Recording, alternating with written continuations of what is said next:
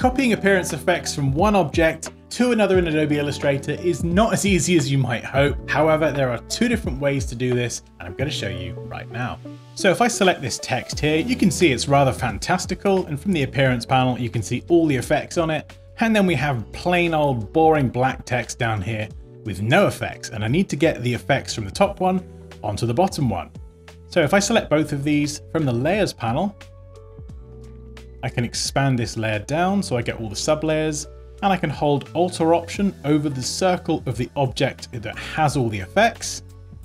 And then if I click, I get the circle and I can drag this onto the other sub layer and you can see it copies the effect. However, this is a bit cumbersome, especially when you've got tons of layers. So let's undo that and I'll show you a different way. So what I'm going to do is select the plain boring black hello text. There we go and grab the eyedropper tool over here. This is in the toolbar and the shortcut for this is I on the keyboard. And if I click on the top text, you can see it does well. Bugger all, it does absolutely nothing. However, what we need to do is double click the eyedropper tool.